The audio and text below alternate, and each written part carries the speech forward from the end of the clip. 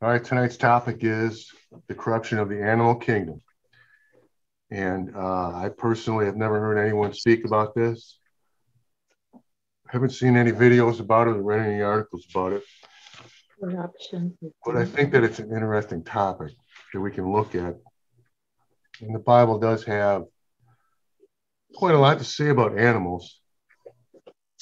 There's only 125 animals mentioned in the Bible, but there's uh, supposedly up to 8 million species. But that's another story.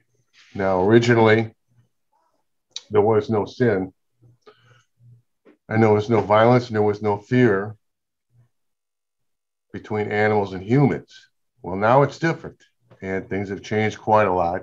Animals uh, keep their distance from humans, they're afraid of them. But what happened? What went wrong? When and when did it go wrong? Who's responsible for it? And what's the extent of the damage? Those are the issues that I want to look at. Now I'm going to start off with Genesis 1 29. This is on the sixth day of creation, and God said, See, I have given you every herb that yields seed, which is on the face of all the earth, and every tree whose fruit yields its seed, and to you it shall be for food and also to every beast of the earth, to every bird of the air, and to everything that creeps on the earth, in which life there is life, Have given every green herb for food. Then God saw everything that he had made, and indeed it was very good. Now, so far, so good.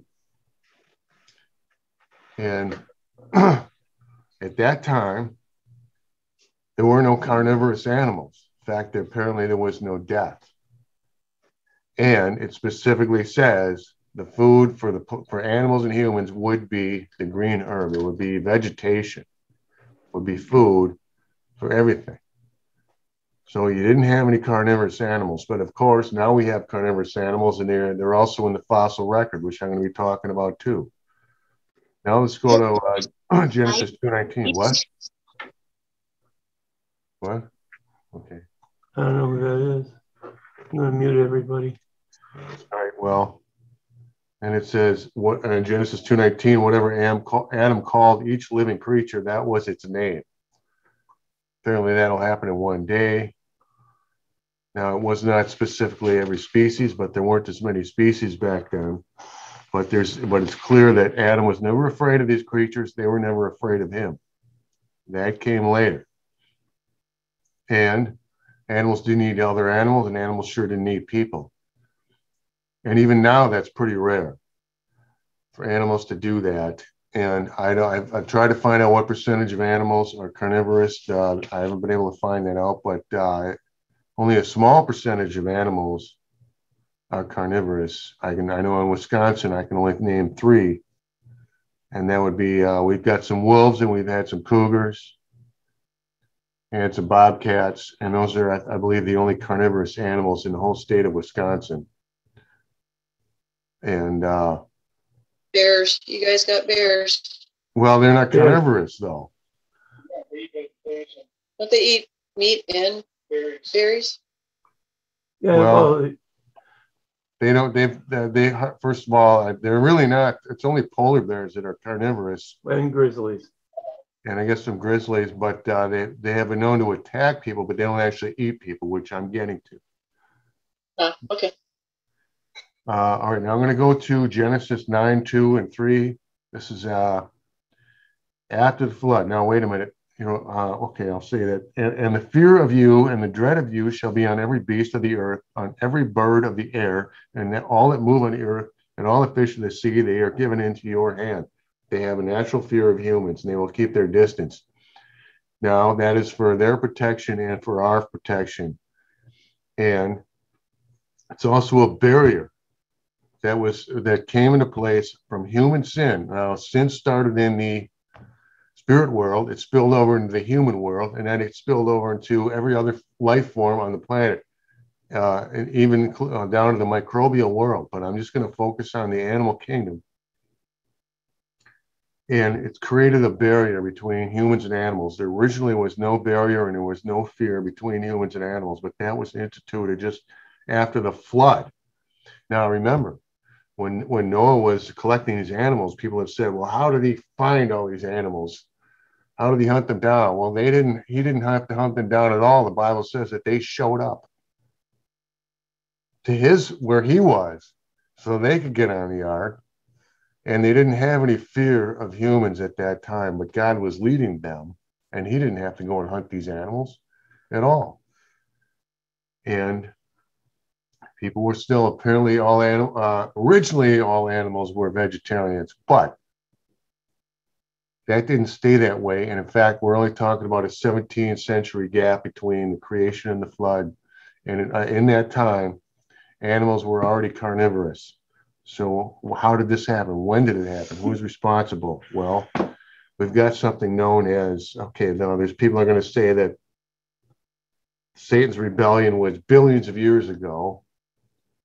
Then there's another uh, uh, way of looking at this where you could say, well, maybe the satanic rebellion did not happen until shortly after Adam and Eve were created. And there is certainly a case to be made for that. Because, like I said, uh, originally there were no carnivorous animals, but then that changed. Why did it change? When did it change? It happened after Adam and Eve were created. Now, there's this so called gap theory, which is what uh, we were familiar with in worldwide, which is what which which it says that there was an original creation a very long time ago, billions of years ago, and then it was destroyed. Then it was replaced with a new creation about six thousand years ago. And there is somewhat of a case to be made for that, but there are some problems with that scripturally and scientifically. And the main one, the main problem with that is that uh, first, these the fossils in the fossil record are not millions of years old at all, and that's been disproven because they contain red blood cells, soft tissue, and carbon 14. Anything with carbon 14 in it has to be less than 60,000 years old. And that's according to uh, Encyclopedia Britannica. Now, carbon 14 is not a totally reliable system, but one thing I will say with confidence anything with carbon 14 in it has to be less than 60,000, probably much less. So it can't be millions of years old. And this discovery was made in March of 2005 in North Carolina by Dr. Mary Schweitzer. And uh, I first learned about it in January of 2010 when they showed it on 60 Minutes. And I was stunned. And I thought, wow, how come I haven't heard about this? Why isn't this being reported? I don't think it would have ever been reported if it weren't for the internet. But you can look it up yourself. There's soft tissue, red blood cells, and carbon 14 in dinosaur fossils that supposedly go back over 80 million years. And the there's carbon 14 in all different layers. Now, supposedly these layers were accumulated very gradually over a very long period of time, but that's not what the evidence actually shows. So, how old are these fossils? Well, all I can tell you is that they're less than 60,000 years old. They're not millions of years old. And a lot of the things in the fossil record are still around today. And if there was a gap, was it very long? So I'm going to say that the corruption of the animal kingdom, as I understand it, was not until shortly after Adam and Eve were, were first uh, created. Now, I don't know if, uh, you got a problem with that, but uh, I'm just going by the evidence here. And this does fall into the realm of speculation, but that is legal. We can do that. I try not to, but I do. All right, now we have creatures that are carnivorous. We have other things that are extinct that I think are just downright disturbing. Most notably, you get the T Rex, the Velociraptor, and the, the pterodactyl. They were carnivorous uh, reptiles. And of course, the most famous one, uh, of course, is named Sue, and it's on display at the Museum of Science and Industry in Chicago. It was found in southwestern South Dakota, and it's enormous and uh, you have to wonder where did these things come from? How could this have happened? Now, people have a lot of people think that it's impossible for a demonic spirit to create a living thing, and that may be. I don't know. I don't know, but it wasn't really necessary for them to do that. I'm going to tell you how I think this happened. I think we have a conflict between good and evil at every level of the creation. It's in the animal kingdom. And we have creatures that I think came from evil minds. Now, how could this have happened? Did they create a new living thing? Well, it wasn't really necessary for them to do that because all they had to do was alter the existing DNA. Now, people think that the word DNA is synonymous with the word genes. In fact, genes only make up 2% of the DNA molecule. Another 8% makes up uh, DNA information that regulates the genes. Then you've got another 90% that nobody seems to know why it's there. Well, that doesn't mean that it doesn't belong there, but nobody can explain that. And uh, they think that it's just there by accident.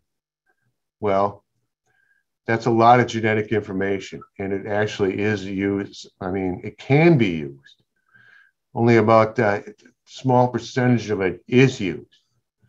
But even in those simplest creatures, there's massive numbers of combinations, and that leaves a lot of room for mutations and alterations. That's what I'm saying here. Now, as far as how many different combinations are uh, of, of uh, genetics are there in the human genome, apparently there are as many combinations of human DNA as there are atoms in the entire universe. That's what I saw on TV. I mean, it's something to think about. It's a mind boggling number, it's incomprehensible, but it tells you just how much information there is just in the human DNA. The, po- the possibilities, the combinations are literally almost endless. So I'm thinking that's how this could have happened.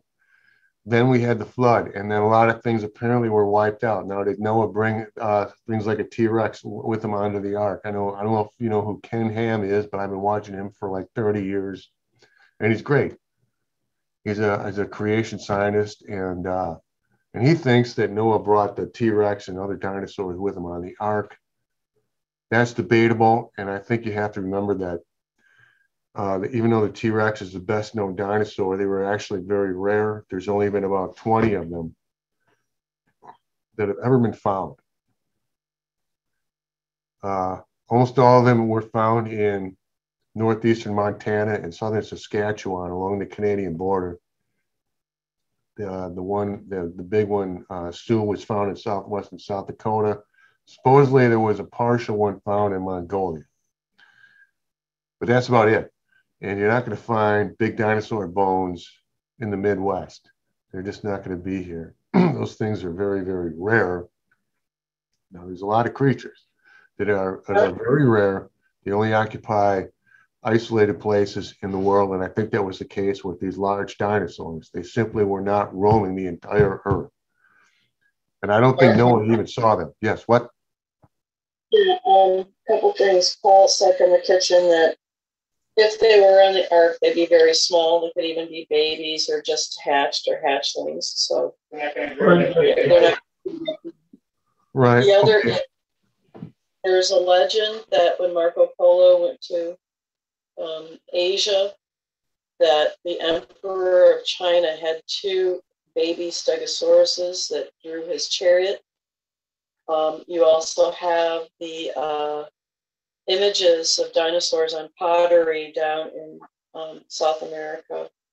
Right. Those are the So- Ica stones in, from Peru, and I talked about those, and they they have. Uh, I mean, there's ten, there's like over twenty thousand of these, and they depict all different kinds of dinosaurs, and whoever carved them had to have seen them. They don't go back millions of years, and uh, Right, right. they do they do show a T Rex Yes. as as far as Marco Polo. The reason we may not have found as many is because there could be so much still buried after the flood, you know, still buried in sedimentary um, rock, very deep, you know, just like when they found um, fine gold stones and sandals and clumps of coal in southern Illinois, there could easily have been, you know, large populations of these animals pre-flood, but we'll just never know what the true count was, um, just because it was completely wiped. Just you know, that's what God did. He tried to he wanted to wipe the slate clean and start over. Yes. So maybe maybe only a handful, you know, when Noah started things up again, whatever was released from the ark, um, you know, maybe they didn't reproduce as much as they did pre-flood. I don't know. I'm good. I'm good not knowing until the download, but you know, just in general, that's our contribution from this end. Just to make sure I understand, you're not saying there are any existing alive today, right? What you mean, Um, not, Diane? that I, not that I know of. Um, there is a theory that there may be some in the ocean. Um, the uh, the plesiosaurs or whatever they are, but uh, I think I, I found a picture from the '60s where they pulled one up in a net. But you know, frankly, I don't know, and, and please don't take this as disrespect. I, I don't care because I'm, I'm good with not knowing. Well, we Um, still have dinosaurs around. We just don't call them dinosaurs. We just call them reptiles. And that fish you were talking about, that was the coelacanth, which supposedly went extinct 600 million years ago. Then one was caught in 1938 off of Madagascar. They never went Yeah. extinct, and it's never it was never near 600 million years old. And uh, Exactly. Exactly. And there's some other things too that they have found that um, are still quote unquote alive that were a part of the fossil record, but they can't figure out why they're still around. But anyway, carry on, Mark. Don't don't mean to hijack the presentation. All right, now you might th- a lot of people would think it would be blasphemous to say that certain living creatures are evil, but let's look at the way certain creatures are, are described in the Bible. Like I said, there's 125 animals in the Bible, and there's in there's a few cases where people are being described as vipers or serpents Mhm. and it's a put down. Now that happened uh,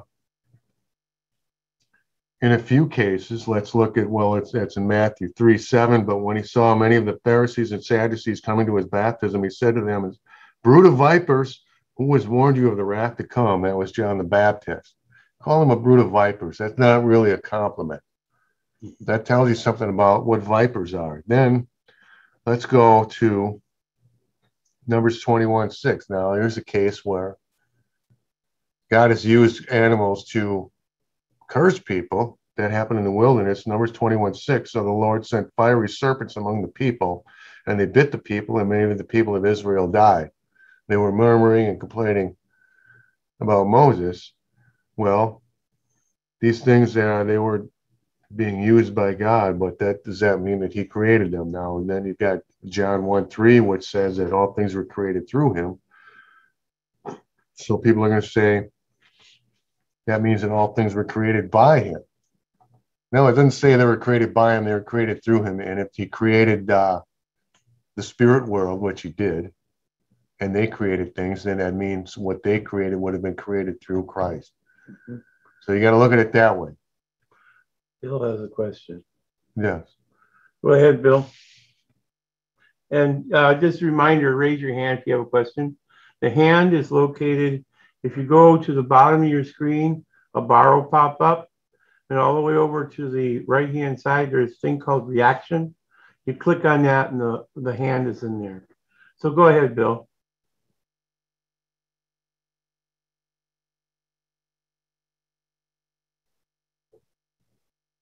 We're not hearing you, Bill.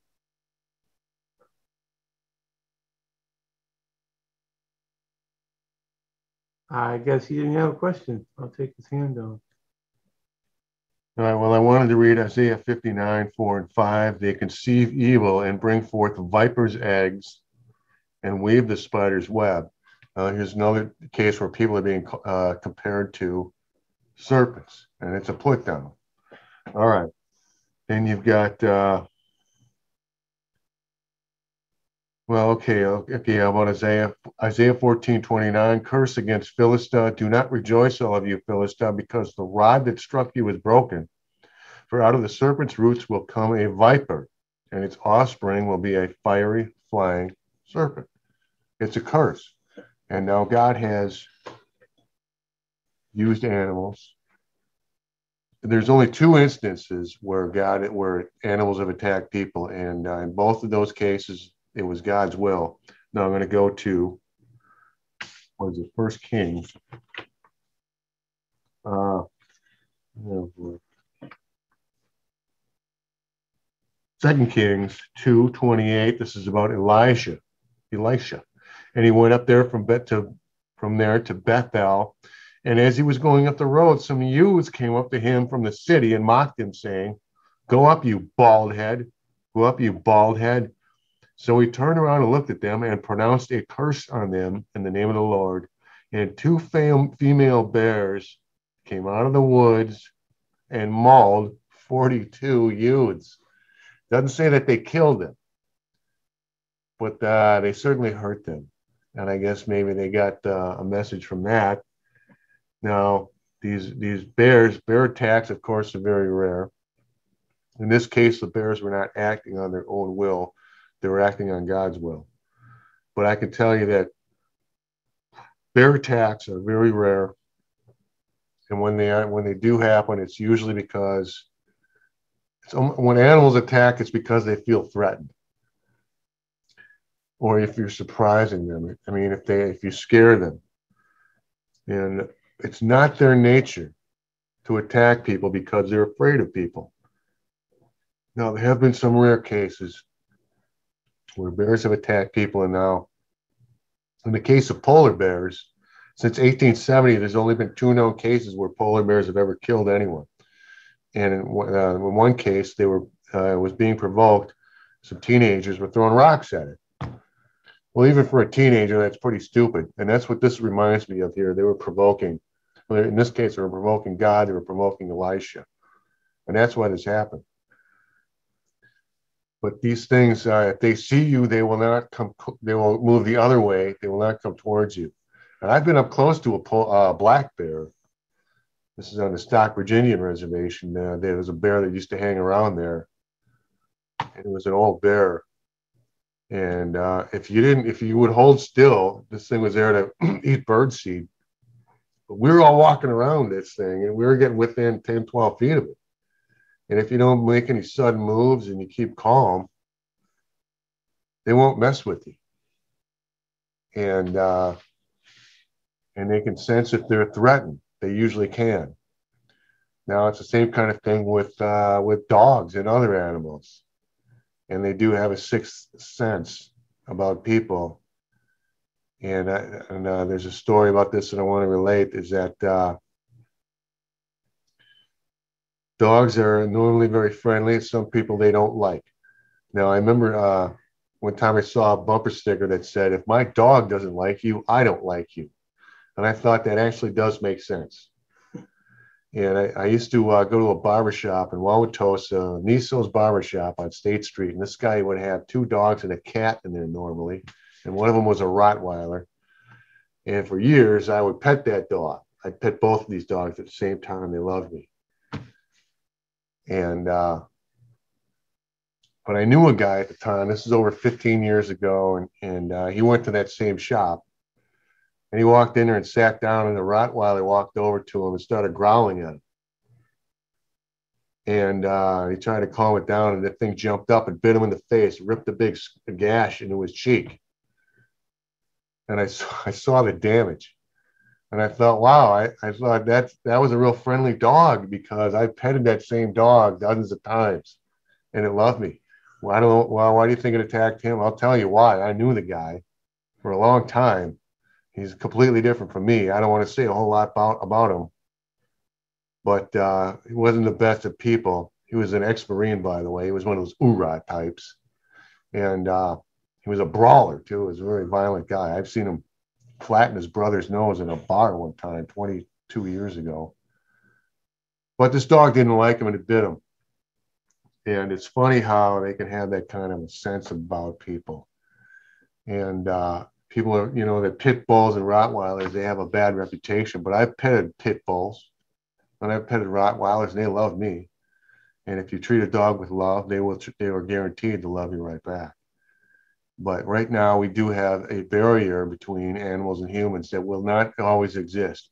Now, people have domesticated every kind of animal you could think of, and I, I love those stories, uh, especially one about a guy that he raised a polar bear from a cub and then kept it as a pet. Now it's full grown; it's like 800 pounds, and they and they swim together in a swimming pool, stuff like that. And it's really affectionate. It's like a dog, you know, like a big white dog. And there's lots of stories like that. And that's how it will be again. And that's how it originally was. But right now we've got creatures that are, that are quite frankly evil. Now I'm gonna I'm gonna go to how how could this have happened? Well, who is to blame? I think that uh, there are demonic forces that did tamper with DNA and created evil creatures. And I think a lot of them were wiped out in the flood, and I think that was a deliberate thing. right about right now, I don't know. Maybe it's still going on. Maybe the creation is still going on. Now I want to read uh, from. well, okay, I, suppose I'll read Isaiah 45 7. I form the light and create darkness. I make peace and create evil. I, the Lord, do all of these things. Now, does that explain all the uh, the, the, the the diseases and the parasites and these carnivorous uh, creatures? I don't know. I don't think that's really quite it, but I thought it'd be worth looking at. Now let's look at Romans 9:21. Does not the potter have power over the clay from the same lump to make one vessel for honor and another for dishonor? Now, in that case, it's talking about the ecclesia. It's talking about the human world that uh, certain people are created for honor, some for dishonor. But I think that that can also apply to the animal kingdom. And that's what we see here. Now, was it God that was behind it? Well, there is case to be made for that, but I have a hard time believing that. Now, if with whatever is evil in his creation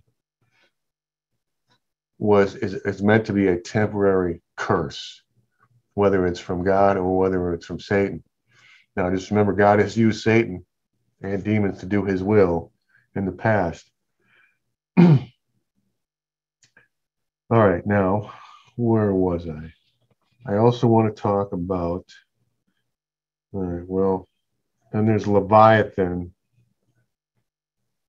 Isaiah 27 1 In that day, the Lord, with a severe sword, great and strong, I will punish Leviathan, the fleeing serpent Leviathan, the twisted serpent, and he will slay the reptile that is in the sea. Now, some people think it's still alive. I don't know, maybe it is. I think it's a metaphor for Satan. Satan is referred to as a serpent, serpent in Genesis 3. And I think in Isaiah 27 1, Leviathan is a, also a metaphor for Satan. Leviathan is also mentioned in Job 41 1 through 34.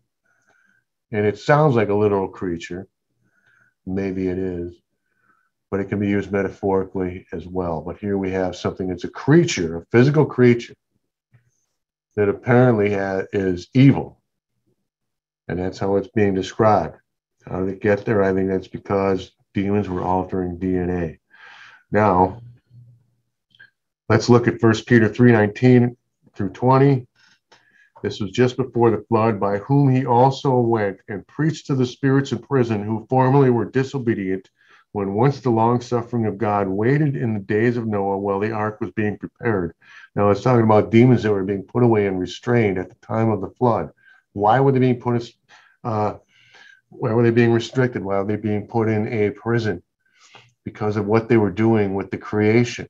That's what I think. And it's not just what they were doing with the human world. I think they were tampering with human DNA for a while, but it was they were also tampering with animal DNA. And that I know that is what uh, it says in the book of Enoch. I'm not going to go over Enoch because it's not a reliable book, but I think Enoch was right about that.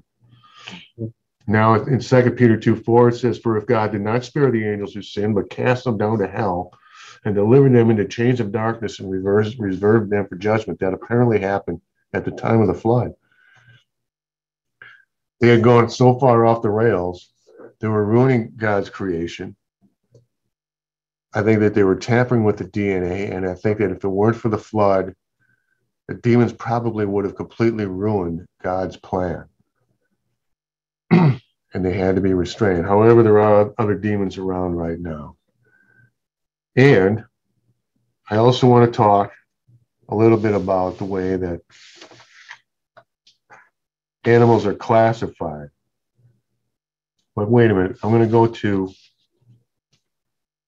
okay, like I said, Adam, Adam named all the animals. Well, all the living creatures. Well, how many were there? And how could he have done this in one day? Well, the living uh, world is divided up into six categories. There's the kingdom, then there's the phylum, then there's the classes, then there's the order, and then it's divided into subdivided into families, then there's genus, and then there's species. And in, a, in the case of uh, there's 31 of them or 33 of them, depending on which source you want to look at. And then there's classes, there's six animal classes, fish, birds, mammals, reptiles, amphibi amphibians, and invertebrates. Uh, couldn't find the orders and families, but uh, how many species are there? Well, there's between 1.2 million and 8.7 million species in the world of animals. Now, that's quite a gap, a seven and a half million gap. And with all the scientific knowledge that we think we have, you'd think we'd have a little better idea of how many species there are in the world. Apparently, we don't have much of an idea. But then there's problems with how you want to define the word species. Now, it's pretty specific that it is actually consistent with the way the word Bible uses the word kind. The Bible doesn't use any of the words, these terms. It does use the word kind, and it says each animal produces reproduces after its own kind. That's consistent with the word species. However, there's at least 20 instances, 20 cases where different species can interbreed and produce a hybrid animal. That's how we had so many, that's why we have so many more species now than there were thousands of years ago. Now, let me give you some examples. There's a zebra and a horse can interbreed, a dolphin and a killer whale, a lion and a tiger, a lion and a leopard, a male tiger and a female lion produce a tigon. Then there's the beefalo, which is a cow and a buffalo. Then there's the grizzly bear, which is a polar bear and a grizzly. There's the jaguar, it's a male jaguar, jaguar and a female lion. Then there's a, a sheep and a goat can interbreed a wolf and a dog, a camel and a llama, a domestic cat and a serval cat, a horse and a donkey. They produce a mule, which does not reproduce. Then there's the uh, the domestic cattle and a yak. They can reproduce. A wild boar can breed with a domestic pig. A coyote can breed with a wolf.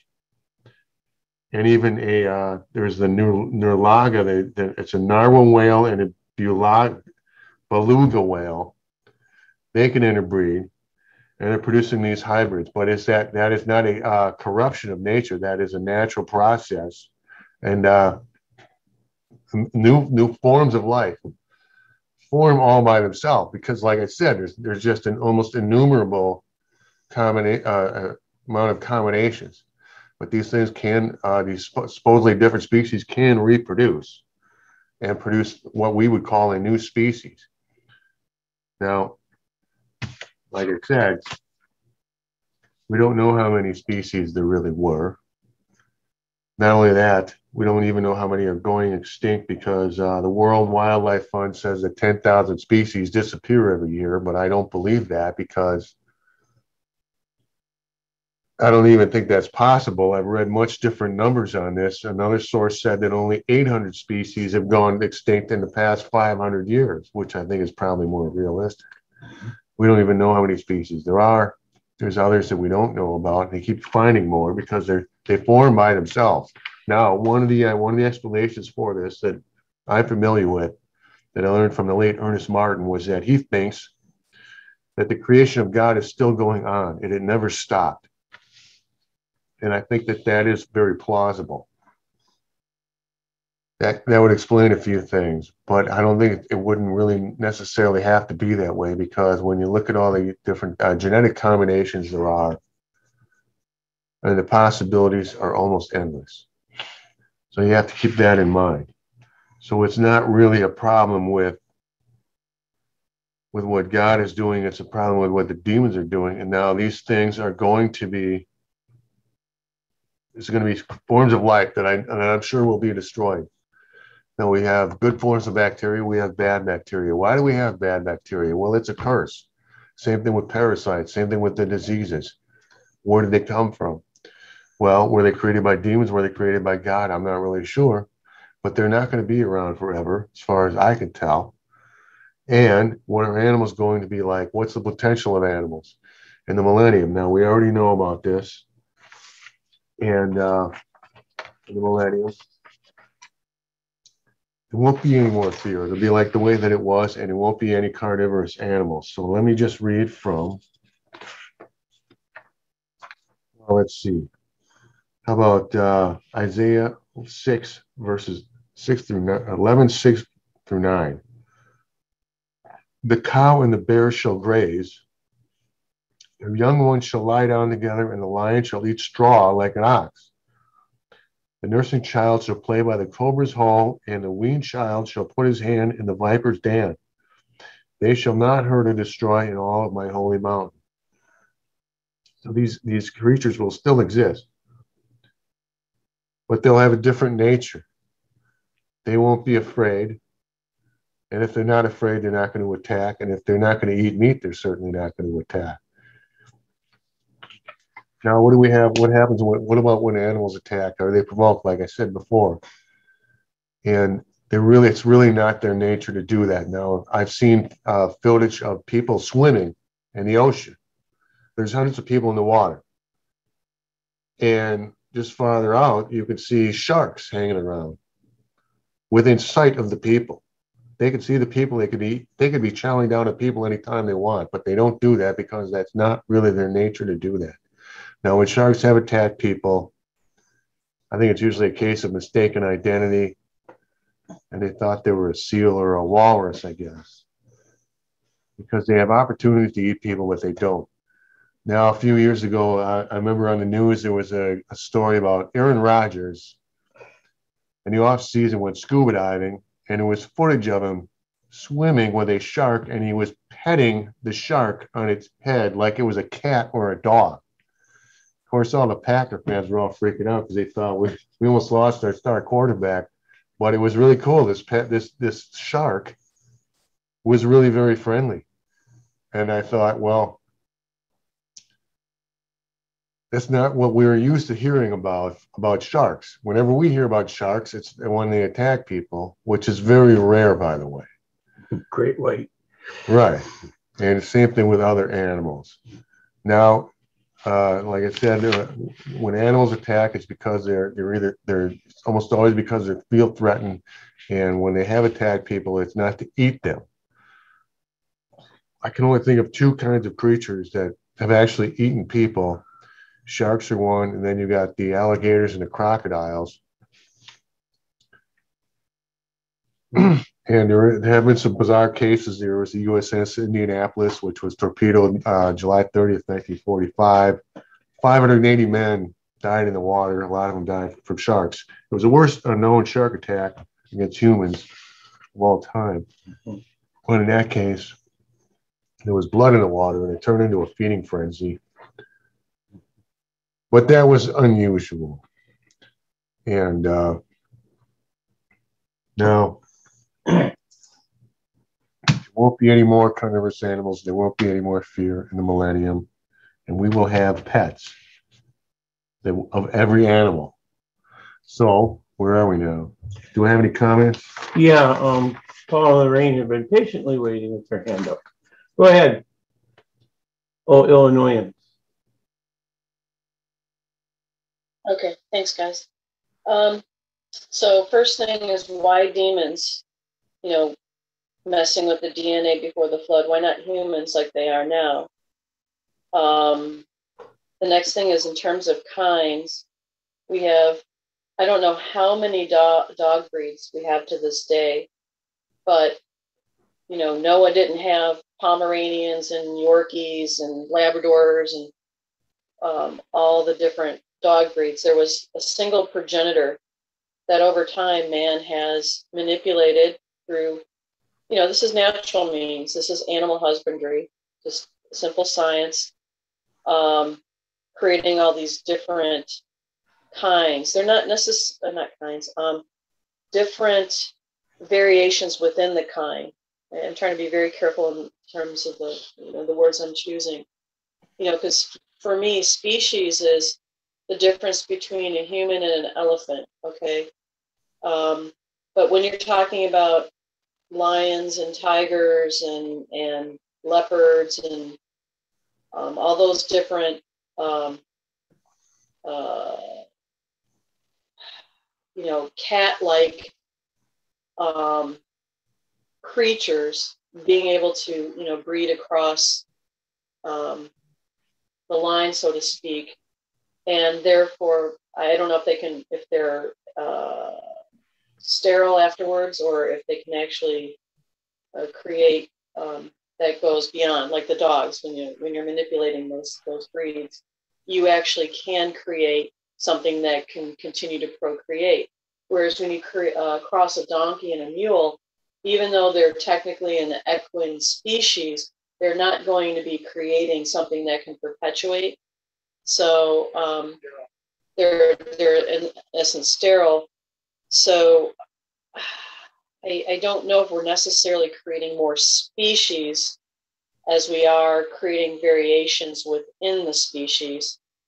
Um, and then the last thing I had was, you know, you were quoting about, well, why do we have bad bacteria? Well, we have bad bacteria because there's death and disease.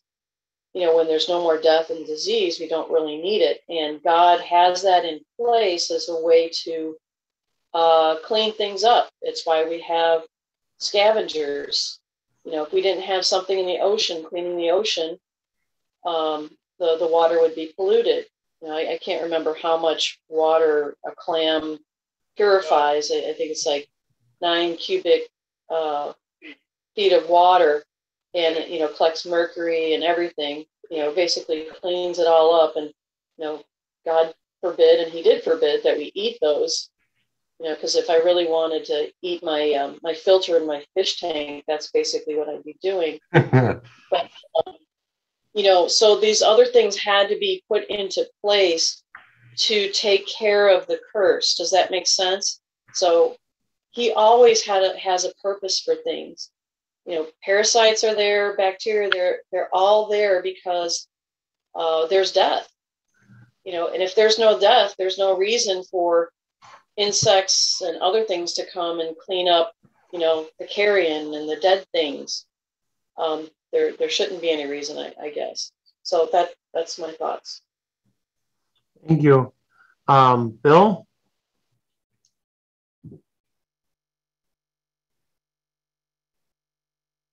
Um, yeah, I want I want to go back to uh, the radiocarbon dating uh, with the statement made there radiocarbon has a half-life of 5,700 years, approximately 6,000 years. Um, so that doesn't mean, okay, like let's say if you had eight, half-life means that if you go one half-life, I'm just going to use 6,000 years instead of 5,700 years for a half-life of carbon 14. That means you got half as much material. So if you go, say you had 80 grams, uh, and by the way, these archaeologists are not likely to give up a, a whole lot of their stuff. It has to be, uh, they have to be burned up and then the, the carbon in it checked. But let's say you have 80 grams of carbon 14, then uh, in 6,000 years, you'd have 40 grams. And then another 6,000 years, you'd have 20 grams and another 6,000 years, you'd only have 10 grams left. Another 6,000 years, five grams, and then two and a half. Uh, so once it runs out, you can make something as old as you want. So the statement that it's only good for 6,000 years is really opposite after 60,000 years. And I'm not saying that the animals are older than 60,000 years, but that that's one thing. And then um, the thing that's really awesome uh, is uh, you, you might be able to see this. It's it's out of National uh, National Geographic, uh, and uh, this particular one uh, has about the mammoths, and uh, the, the, this is a picture inside there of the guys uh, getting tusks. They're taking 60 tons of mammoth tusks per year just out of the northern Siberia islands. Um, and uh, here's a guy, here's a picture of a guy. He's got a long lance spear type thing. And if you can see it, he's chipping, see this tusk sticking out of this, what they call rock ice. It's a mixture of mud and body parts and tree parts. And they're searching up there in these northern Siberia islands in August when things are thawing out. They get $40,000 approximately for each one of these tusks.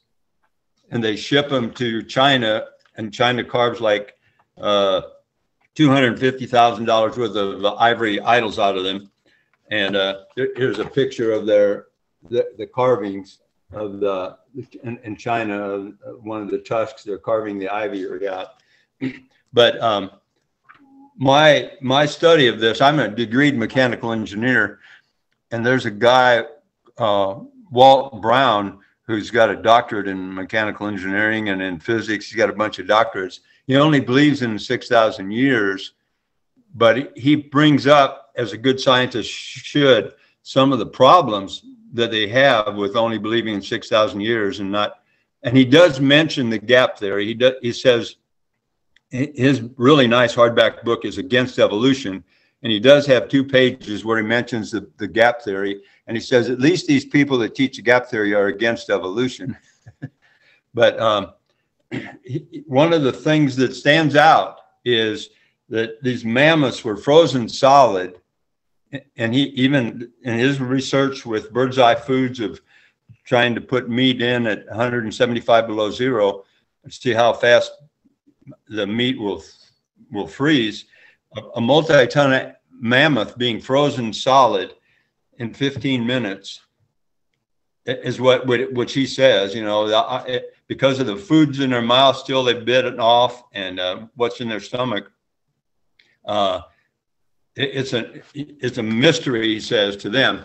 There's another uh, another National Geographic, uh, and this is called um, uh, Ice Baby, uh, and they call it Dima. This was the, the first or the only completely flesh. as a baby mammoth. Uh, they had it in Japan, and, looking at his um, stomach and and uh, and looking at why that it died.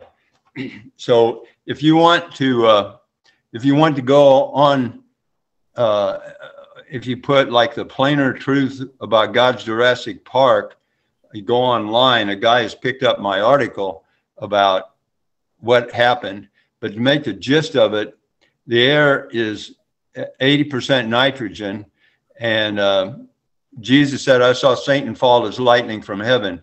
So when Satan was knocked down from heaven, when he tried to take over God's throne in Isaiah and Ezekiel, he and the angels with him knocked the earth out of orbit into 400 degree below zero. And the nitrogen in the air would turn to liquid. And, and some of these animals got bathed in liquid nitrogen because you can imagine if the earth was knocked out of orbit, all the oceans would slosh and then the only place for the oceans to go would be back towards the earth. So it rips up the whole earth and that's what they find. And there, by the way, there are no human bones in, in this, in all these studies of this rock ice with all the animal parts, and he, he lists all the animals that they found up there in the north. There are no human bones in there at all. So this was not something that happened with the flood, but um, several things. I, I, discussed this with this guy that has the doctorate that wrote this book, Walt Brown. And by the way, it's online. You can go and you can look at he's got a lot of details of all the different animals found up there Frozen.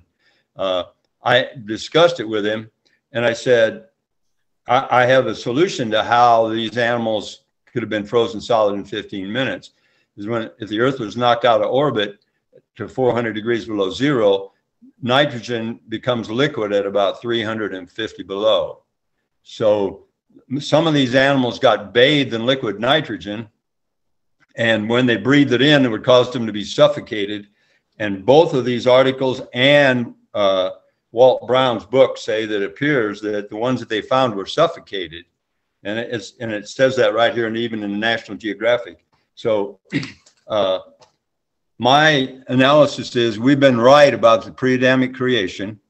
Uh, the the Earth was knocked out of orbit uh, when Satan tried to take it over, and uh, then one last thing, and I'll I'll be through is that even the evolutionists there's a there's a heresy among the evolutionists because I saw on one of the programs, uh, Discovery Channel, some of the evolutionists have agreed the only way this could have happened is the Earth was knocked out of orbit. And so they actually showed a video where they made up of this giant meteor hitting the Earth and knocking it out of orbit. And it was interesting. They showed the meteor as a giant ball of light. And I thought, isn't that interesting? Scripture said, Jesus said, I saw Satan fall as lightning from heaven. anyway, uh, so that's my pitch. When, when did it come back into orbit?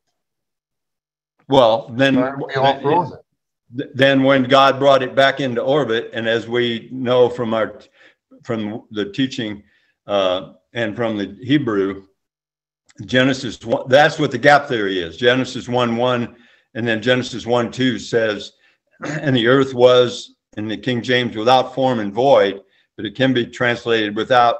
It's tohu and bohu can be can be without forming a mess. Right. So then God, God would bring it back. and then there's one other thing that's important in this, and I I shock people, and uh, one of the corporates has even picked this up. They that I made the comment is nowhere says in six days God created the heavens and the earth. People go, "What? Are you crazy, Bill?" You go read it. Says in six days God made the heavens and the earth. In Genesis two, verse three, I think it is. It says this is the generations of the heaven and the earth in the day that God created and made. So as an engineer, I would create something on computer and then I'd go make it. So in the beginning, God created the heavens and the earth, and then in seven days, uh, Yahweh number two made the heavens and the earth. There, there's well, two I, different. I thought that meant the same thing, and I have to ask you, what what was what kind of creation was in the pre-Adamic world? Was it there were no humans? Well, so so that I, I look at. I mean, this is this is how I this is my position. Okay, that's what the scholars say position instead of what I. Um, that the God's Jurassic Park was created for the angels to have fun with, and when we saw the movie Jurassic Park, we see how excited people were to see all these animals that they the archaeologists thought they knew how they were. So that what i see and then they also have the scripture uh, where it says the angels which kept not their first estate. So I, am just telling you my position and my from an engineering uh, and, and uh, heat transfer it's virtually impossible any other way to say how the mammoths were frozen solid in 15 minutes with food still in their mouth that they bit off well, okay. I mean, that's that's a story all by itself. And if you're saying the Earth was knocked out of its orbit, it had to come back at some time. But uh, that's another story. As, far as the fossils go, they're less than even the ones in the bottom layers are less than sixty thousand years old. They're apparently all the layers are the same age. They were formed at the same time, and I don't know what forms of life there were before that that are not in the fossil record. But uh, supposedly life goes okay. The scientists are going to tell you life goes back billions of years. But you know, one of the reasons why they're why they're coming up with that, it's something called radiometric dating. And I want to read you a quote from the Utah Geological Survey about radiometric dating. And it says, radiometric dating generally yields the late the rate of metamorphism, not the age of the original rock. So it's a dating method that does not give you an actual age. All they knew is they could tell you that the rate of decay of all these elements are, but you would have to know the exact mineral content of the rock when it was formed in order to put a date on it. And I, even on the History Channel, on the, on the show Ancient Aliens, they said there's no way to put a date on a piece of rock. And they're trying to hand us this stuff about the Earth being four and a half billion years old based on uh, radiometric dating.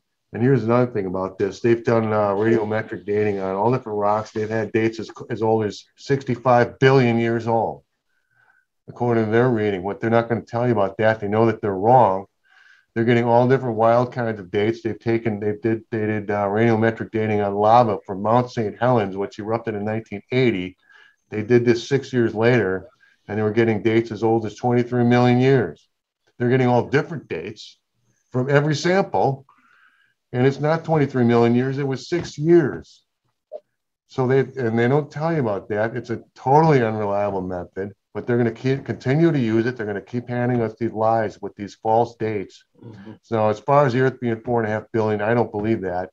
Now i'm not going to say for sure that it's 6000 but i'm just saying you can't go by what uh, the world of science has been telling us because they're using wrong flawed methods now with the case of carbon 14 it's different because it only works with living things and it doesn't go back more than 60,000 years according to encyclopedia britannica i think it goes back less than that but at least we know that the things in the fossil record are less than 60,000 years old. And that tells me maybe that gap theory doesn't really hold up. Mhm. Well, let, let me say, Don, I do not disagree with the 60,000 years, and I can disagree with the millions of years. I, I, I, I'll just say that. But 60,000 years is a lot different than 6,000. Okay, well, I'm not saying I'm not saying the Earth is 60,000 years old. I'm saying it's less than that. I don't know how much less, but it's got to be less. Um, I'm gonna make a comment here, and then we go to uh, Paul and Lorraine. Um, the book, uh, you know, the, the book of Enoch is a uh, non-canonized. There's some problems with it, but it's a fun source to use to try to get a picture of life pre-flood. And in there, um, trying to think what chapter it was, uh, Enoch is is walking along and he gets summoned by some demons. And the demons are saying, they say, go to God and petition for our release. We've been wrongly, uh, we're being wrongly kept. And um, Enoch goes to God, and God says, no, you are not supposed to intervene for them. They're supposed to intervene for you. They are they are being kept because they gave man knowledge they were not supposed to have. Um, and in other places too, it talks about the demons passing things along to mankind that they weren't supposed to know yet. So for all that's worth. Um, Paul Marine? Yeah, Mark, we had mentioned this before. The irony of how they say that the layer of the rock tells you the age of the fossil, um, but the type of fossil tells you the age of the rock. It's circular reasoning. And then, um, you know, kind of going back to the Book of Enoch, it it is, um, like you said, Don, it is uh, interesting, um, to say the least. But you know, going back to my original thought um, about there being evil human beings that are implementing this manipulation of the DNA. Um, once you understand the building blocks of how God has created things, um, so-called having that knowledge that, uh, uh, like you said in the Book of Enoch, that um, God didn't want humans to have yet. Uh, we're seeing that today. You know, um, what is going to be the fruit of that experiment? Uh, I think many of us are holding our breaths, hoping, you know, for the best, but also stealing ourselves for, you know, something else. Um, but you know, needless to say, here we are. You know, is and the irony I think of this is, I have to wonder if the seduction was by you having this knowledge about how God creates, you become gods yourselves. And so, therefore, like, is probably why we're seeing today um, these folks in the medical industry, you know, thinking that they have, you know, unlimited power um, and the things that they're doing to people and animals, by the way, Mark, you know, coming back, uh, circling back to your original topic, um, which leads me back to the pre flood. Why did God need to destroy everything? Because everything was corrupted, human and animal, everything. And I'm thinking to myself, wow, how could how could Noah be perfect in his generations? Are we talking in terms of faith, spiritual? Are we talking genetics? You know, a possibility. I mean, as we're as we're kind of talking, having this discussion tonight, that's those are some of the things that um, you know are, are you know kind of uh, mulling about in my mind. And then also you have the uh, the verse that says, "So in the days of Noah, so shall be," you know, like in our times. That is, if these are those times, I should say, qualifying it. But um, anyway, those are just just some thoughts. Yes. Well, mm-hmm. I, I agree. And I just wanted to mention Matthew 13, 25, the kingdom of heaven is like a man who sowed good seed into his field, but while men slept, his enemy came and sowed tares among the wheat and went his way. And that's basically what I'm saying is happening in the animal kingdom too. Uh, it's the enemy that's been corrupting things, and it's only temporary. It's going to change. I mean, originally, Adam and Eve, they didn't have to uh, cultivate, they didn't have to pull weeds and everything they needed was right there. And that's how it's going to be. And then, of course, there's Ezekiel 34, which I didn't put down here, but it says they will sleep in the woods and uh, they will make the evil, the, the beast cease from the land, and nothing will make them afraid. And uh, people have been afraid of animals. Animals have been afraid of people, but uh, that's all going to change. And now what about carnivorous animals? I mean, they cannot, they were made carnivorous. That's how they were designed. And that's how their bodies, like uh, the big cats, they cannot digest cellulose. They can only digest meat and milk. And that's just how they're created, but their whole physical nature was corrupted and it's going to be changed back. Now, here's another thing. When it comes to clean and unclean, some people think that I knew I used to know a guy that wouldn't pet a cat or a dog because it's uh, he thought because they were unclean, and he said he thought you couldn't touch an unclean animal. But just uh, just remember that when Noah brought the animals on the ark, God told him bring seven of each clean animal and one of mm-hmm. each or two of each unclean. Well, there were unclean animals on the ark because God wanted them preserved, and just because they're not clean to eat doesn't mean that they're evil and it doesn't mean you can't touch them. I just remember that God's people rode on camels and they rode on horses. Jesus rode on a donkey on that final Passover of his life. Those are all unclean animals. And it's not wrong to touch them, and they're not inherently evil. You just can't eat them. That's all it's saying. And remember that God told Noah to, to divide up the animals by between clean and unclean. This was like nine centuries before Moses wrote Leviticus 11 with the dietary laws.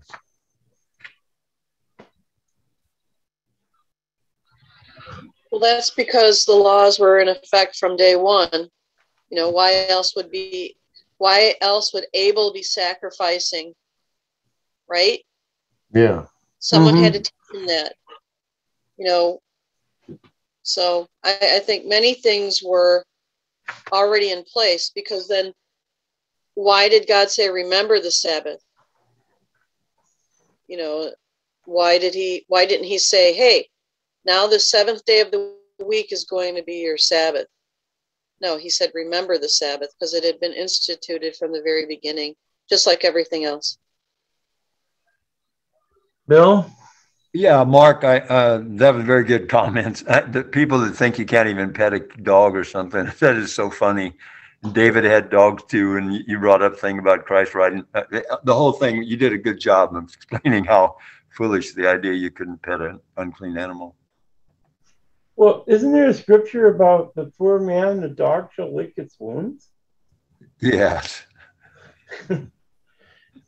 So, Well, that was, uh, that was, uh, Lazarus. Lazarus and the rich man, and he, he had wounds, and the dogs would lick his wounds, but, uh, right, but the, uh, I guess it's the female dog actually can, the, the, the licking is actually cleansing. The male is bad. The female has to, has cleaning. I never heard that. Yeah, well, that's what I was told by a vet. Now, supposedly a dog's mouth is cleaner than a human's, but I never Well, really believed that one, man. Yeah, Okay, well, okay. But um, the, um, that thing about Mark about the uh, the sixty thousand years with carbon fourteen. See, once you get past about ten half lives, and there's nothing left, then you can make something as old as you want.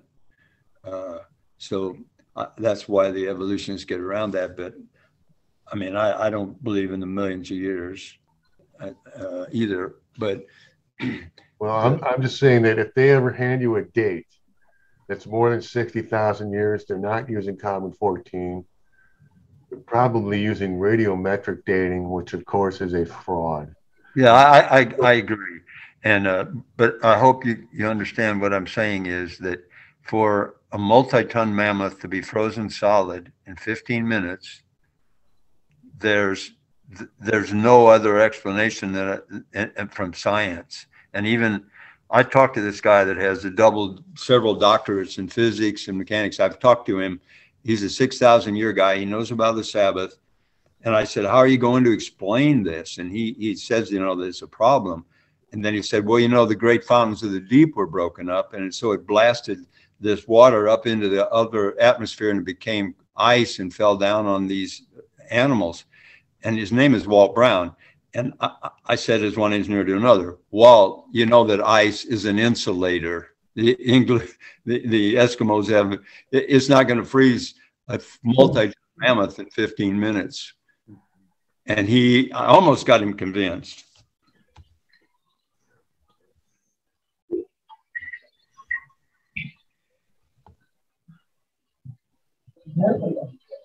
Nothing. Dan, did you have something to say? Your mic's unmuted. Oh, I, I don't know how that happened, but I see the, it's unmuted. I was thinking about what life was like back in the days of uh, Noah.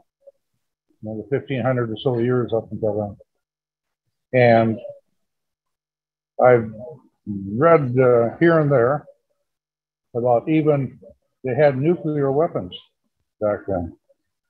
They were taught a lot of things, and there's seas, there's like glass. The guy, the geologist, is driving over an area, ran over what the sound, and it got out to the truck to see what it was, and it was breaking glass all over. And how did that happen? Well, So I think you're like- talking about, uh, isn't that Mohenjo-Daro in northern India? I, I, this sounds like it's what it was. All right, they had that on the History Channel, and it's called vitrification. And that's that's what happened when they detonated uh, the, the first atomic bomb in Alamogordo, New Mexico, on July 16th, 1945. It turned it melted the sand and turned it into glass, and that's what happened in uh, Mohenjo-Daro, northern India, and nobody knows when. Right. But uh, they also found xenon 29, which is a which only forms in a an atomic explosion, and nobody can explain how they could have done that in an in an ancient world, but apparently they did. Yeah, and I was thinking, yeah, Yeshua said that, yeah, the end times will be as the days of Noah. So Yeah. we look at our end times and say, so what is going on? Okay, you're, you're having animal abuse being testing uh, testing out for the pharmakia, and uh, so I would assume that the animals back then were also being tested, and uh, and they were going into uh, putting different uh, you know, figures together with a human, an animal, you know, chimeras, and from, you know, any different, uh, type of, uh, combinations too. And so it just makes sense to me that that is what was going on back then, is what we see now. Yeah. And so it's just like, uh, yeah, it's some pretty wicked stuff and pretty evil stuff that was going on. And uh, it was like, yeah, there wasn't any different back then versus now. I don't think. I think because they supposedly were taught by the fallen angels about how to make different weapons and stuff like that. And so there you go. Now you got the same bottom atmos, bottom, uh, you know, characterization of the humans as what we have right now. And so it, it, to me, it shows that, yep, he's going to be back soon. So, however soon that is, but it'll be back soon. And the animals and the plants and everything are going to be happy about it. It, I was um, talking to a gentleman, oh, this is years ago, who was a nuclear, uh, he worked for some power company and he was a nuclear guy. And I said, what, what would happen if there was a, a nuclear war? How long would it take to clean up and how would you do it? And he talked about it would dissipate and this and that. And he said the fastest way to do it would be to cover it with moving water, high in calcium and certain minerals. You think about it, you flood the earth, and how long did that water sit on the earth? Could have just been the flood was necessary to clean Yeah, it was, it was a year. Was that, it- or- I think it Right, was but I'm just saying, you know, based on what he was saying, the cleanest, fastest way to clean it up would be to cover it with an immense amount of water. That kind of makes sense, doesn't it?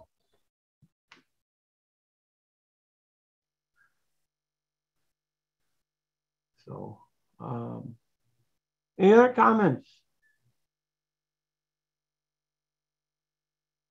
Feel free to raise that, raise that, click on that, raise hand. Uh, I, there's another thing, one of the brethren's brought up that with the clean animals that Noah took on the ark, it was seven, it says seven sevens, male and his female. So we, we know it's 14. But they brought up, it also says for the unclean, two twos. So they said there were actually four of the unclean and 14 of the clean. I, I did check the Hebrew and it does say two twos as well as saying seven sevens. Paul Lorraine?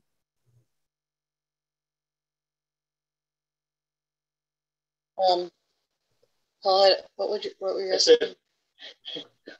how, how do you guys explain Australia? Yeah, Paul wants to know how to explain Australia with its crazy duck-billed poisonous marsupials. Wombats. Poisonous duck-billed marsupials. Yeah, very poisonous. Platypus. Yeah, you get you get uh, stung by a male. Those back claws are very poisonous, Really? horribly painful, deathly painful. Yes, ma'am. Not to another. Yeah, I mean, they Tasmanian use that to fight. Giant spiders that completely convinced me never to visit there. Well, in the Um, spring it rains spiders. That's how they travel. Right. When it's spider season, yeah. Have you seen those pictures? It's pretty scary. well, it can't be worse than Brazil. That's where you, you don't uh, want to go there, man. They got uh, almost everything there is deadly. Get It's almost like being in Chicago. Right, yeah. Well, it's like Piranhaville. Uh-huh. Well, that's all I got.